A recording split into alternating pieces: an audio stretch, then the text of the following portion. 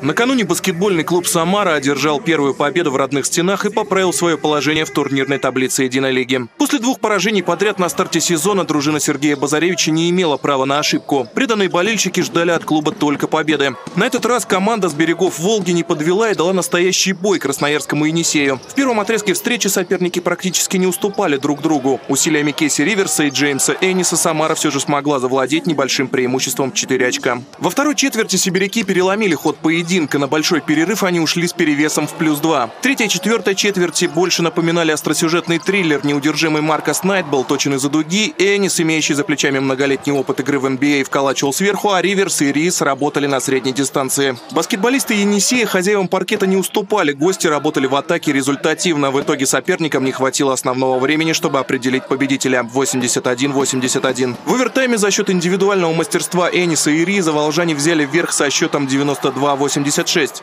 После матча Сергей Базаревич отметил, что его новая команда все еще находится в процессе становления. Баскетболистам требуется время, чтобы привыкнуть друг к другу и отладить игру в защите и в нападении.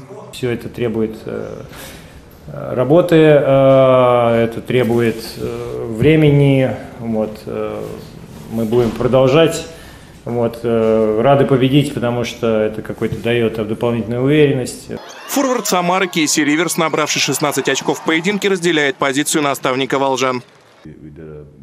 Наш поиск еще продолжается. Мы улучшаем наше взаимодействие. Хорватский тренер Енисея Дражин Анзолович заявил, что Самара укомплектована высококлассными игроками. Наставник считает, что у сибиряков была возможность одержать победу, но хозяева были сильнее за счет индивидуального мастерства отдельных баскетболистов. Da pozdravljajem komandu Samare s pobjedom. U nas bilo šanse, ja mogu сказать, это u regularnom vremenu u nas bila большая шанса за, за выиграть игру.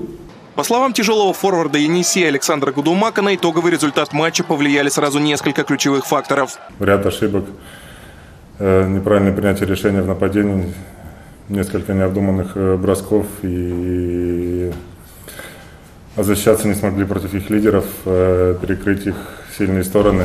После трех туров Самара занимает девятое место в турнирной таблице Единой лиги. Следующий поединок дружина Сергея Базаревича проведет на выезде против Нижнего Новгорода 16 октября. Стартовый свисток прозвучит в 16.00. Анатолий Головко, Константин Головин. События.